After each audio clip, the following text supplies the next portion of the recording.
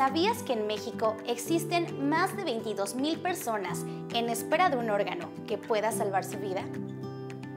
Ante esta situación, las y los diputados Elvia Sierra, Toño Hernández, Tania Valdés, Jorge Hernández Arauz, Vanessa Escalante, Edgar Hernández y Osiris Leines propusieron durante la sesión ordinaria número 40 la iniciativa para reformar y armonizar la ley que crea el Centro Estatal de Transplantes de Órganos, Tejidos y Células de Seres Humanos y la Ley de Educación, ambas del Estado de Hidalgo,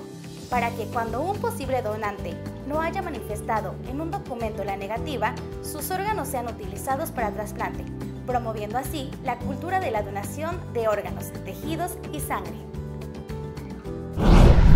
En el ámbito educativo, la diputada Lizeth Marcelino realizó a nombre de su coalición la lectura de la iniciativa de ley que establece el derecho a útiles y uniformes escolares de forma gratuita,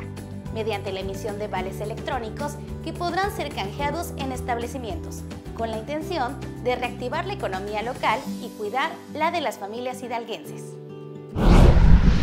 En la misma sesión, el diputado Julio Valera presentó la iniciativa con proyecto de decreto que reforma el Código Electoral de Hidalgo para que el Instituto Estatal Electoral adopte medidas que garanticen el derecho de las mujeres al acceso a cargos de elección popular en condiciones de igualdad.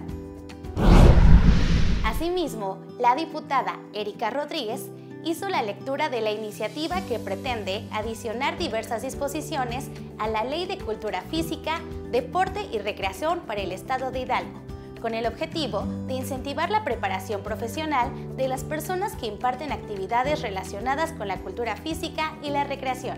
además de incluir la perspectiva de género y no discriminación en la práctica deportiva. Finalmente, la diputada Marcia Torres presentó la iniciativa que busca modificar diversas disposiciones a la Ley de Fomento para la Lectura y el Libro del Estado de Hidalgo, a fin de promover la creación y difusión de libros en las diversas lenguas indígenas del Estado. Sigue informado sobre los trabajos de las y los diputados de la Legislatura de la Inclusión en las redes sociales y página oficial del Congreso del Estado de Hidalgo.